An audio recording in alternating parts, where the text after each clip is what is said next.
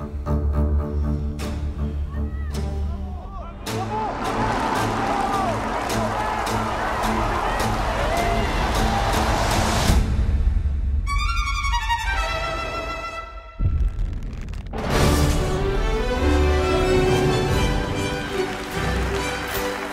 a great pleasure to welcome you to France.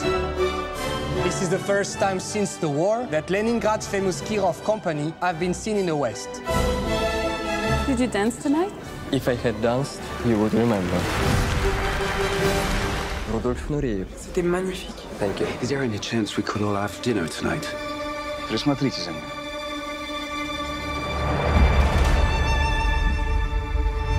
We told not to speak to foreigners, not to go out with them, not to eat with them. Aren't you frightened?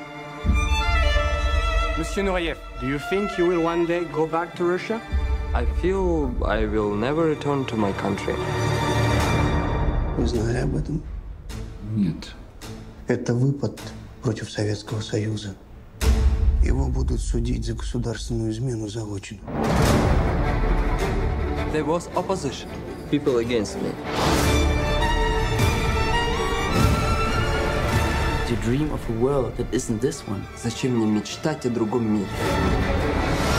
Everyone must have a purpose in life. I have to show the world I am the best. Whatever you do, don't leave me. If you leave me, I am finished. My name is Rudolf Nureyev. I want political asylum. No!